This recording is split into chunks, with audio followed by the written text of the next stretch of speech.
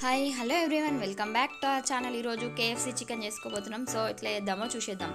First chicken తీసుకొచ్చి అది మునిగేటంతా నీళ్ళు పోసేసి కొంచెం సాల్ట్ వేయాలి.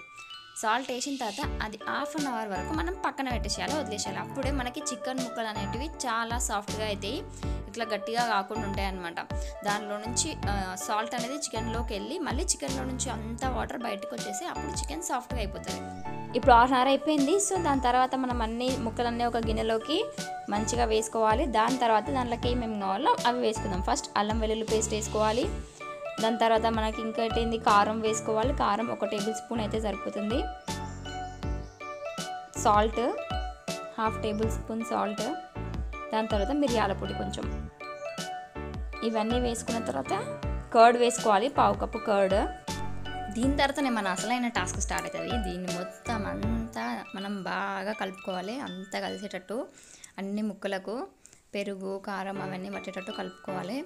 కొంచెం ఇది ఏంటి అంటే చికెన్ టిక్కా మసాలా ఉంది కొద్దిగా వేసుకున్నాము. మీ ఇష్టం మీరు ఆప్షనల్ వేసుకుంటే వేసుకోవచ్చు లేకపోతే లేదు. దాని తర్వాత సోయా సాస్. దాని తర్వాత కొంచెం ధనియాల పొడి. ఓకే ఇప్పుడు మసాలాలన్నీ వేసుకున్నాం కదా ఇప్పుడు మంచిగా మొత్తం అంతా కలిసేటట్లు కలుపుకోవాలి. కలుపుకున్న తర్వాత ఒక గంట మనం దీన్ని మూత పెట్టేసి ఫ్రిడ్జ్లో పెట్టేసుకోవాలి. ఇంకా పని అయిపోలేదండో ఇంకో పని ఉంది మనం ఇంకో పని చేసుకోవాలి ఆ లోపు. ఒక ప్లేట్ తీసుకొని అందులో కొంచెం కార్న్ఫ్లోర్ వేసుకోవాలి. దాని తర్వాత ఒక టేబుల్ స్పూన్ గోధుమ పిండి మైదా పిండి అయినా వేసుకోవచ్చు గోధుమ పిండి అయినా వేసుకోవచ్చు. మేము గోధుమ పిండి వేసుకున్నాము. దాని తర్వాత కొంచెం కారం ఒక పావు స్పూన్ కారం కొంచెం సాల్ట్ వేసుకోవాలి. ఇప్పుడు దీనికి కూడా ఉప్పు కారం అంతా మంచిగా పిండి మొత్తం కల్ కలవడానికి మొత్తం కలిపేసుకోవాలి మంచిగా. దాని తర్వాత మనం ఇప్పుడు ఫ్రిడ్జ్లో పెట్టినాము కదా చికెన్ ముక్కలు. సో వాటి కోసం వెయిట్ చేయాలి. సో ఆలోపు మీరు ఏమైనా పనులు ఉంటే చేసేసుకోవచ్చు. ఇప్పుడు గంట అయిపోయింది కదా మనం ఆయిల్ స్టవ్ మీద పెట్టుకొని వేడి చేసుకోవాలి. దాని తర్వాత ఆ చికెన్ ముక్కల్ని మనం పిండి కలుపుకున్నాం కదా అందులో బాగా దొర్లించాలి. అటు ఇటు దొర్లిస్తే ఆ పిండి అంతా దానికి పట్టేస్తుంది.